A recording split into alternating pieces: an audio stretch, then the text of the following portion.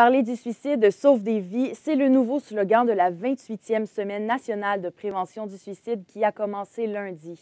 Une pensée nouvelle et positive pour inciter les personnes en détresse à se confier. Ma collègue Flavie Villeneuve s'est entretenue aujourd'hui avec un intervenant spécialisé du Saguenay-Lac-Saint-Jean, Mathieu Brisson. Bonjour, Monsieur Brisson. Alors, vous êtes ici pour parler de la semaine de la prévention euh, contre le suicide. Vous avez un nouveau slogan. Est-ce que vous pouvez nous en parler? D'abord, j'aimerais dire que c'est la 28e semaine de prévention du suicide euh, au Saguenay-Lac-Saint-Jean puis au Québec. Et effectivement, cette année, on a une primeur, c'est qu'on a un nouveau slogan. On peut même le voir en ce moment ici aussi. Parler du suicide sauve des vies. Et qu'on veut vraiment y aller dans ce sens-là. Et l'idée, c'est d'amener les gens à donner le pouvoir de, la prise de parole.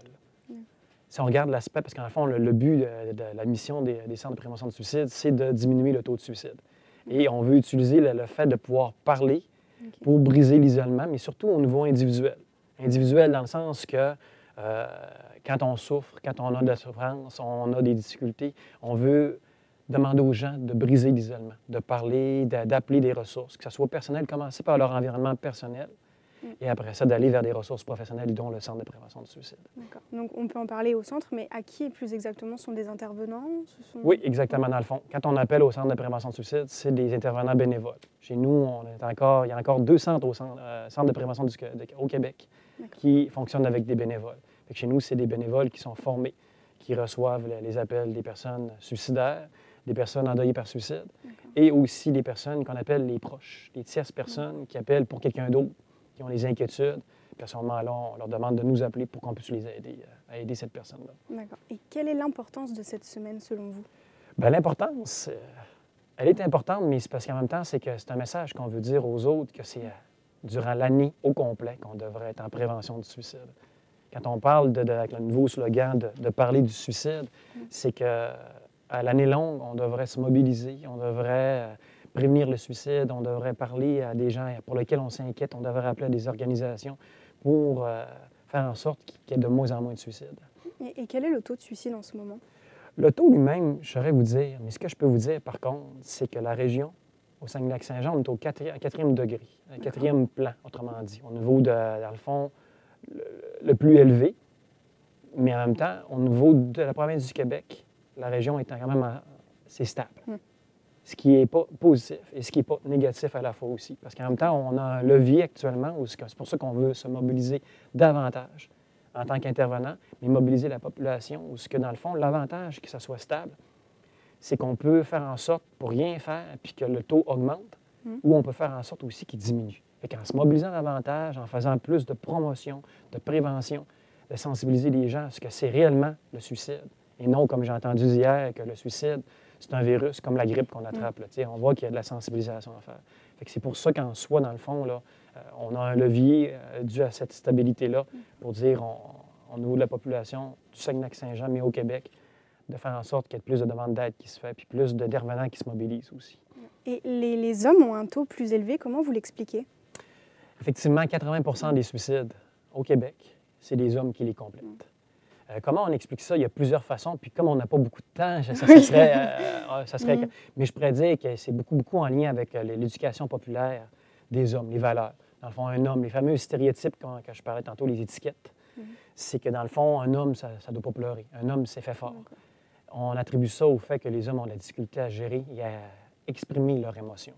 C'est une des particularités. les hommes d'une certaine catégorie que j'appelle, dans le fond, les hommes pourvoyeurs, les hommes qui ont cette façon de voir les choses, où ce que dans le fond, on gère nos problèmes que par nous-mêmes. Mais il y a une tendance à vouloir diminuer cette, cette, tendance-là de, de, gérer nos problèmes tout seul. Puis il y a plus de demandes d'aide. Mais effectivement, c'est encore d'actualité où ce que faut pas montrer notre faiblesse, il faut, mm. faut montrer qu'on est fait fort.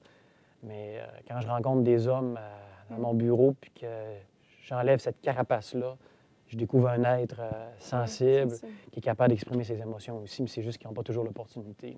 Mais ça serait, un détail parmi d'autres choses. C'est un facteur parmi tant d'autres qui explique pourquoi il y a autant d'hommes.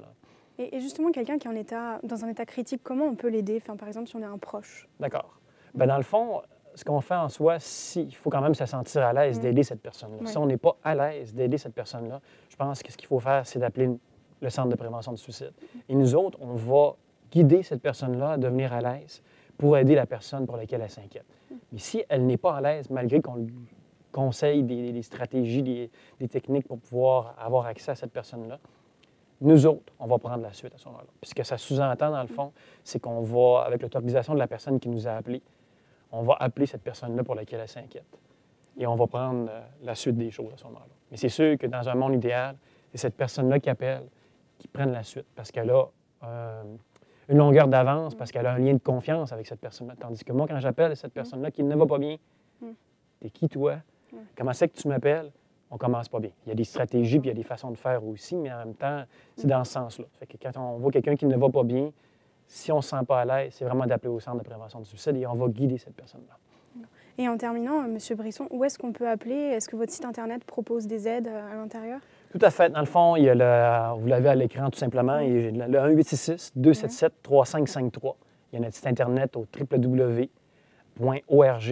euh, pardon, euh, .cps02.org.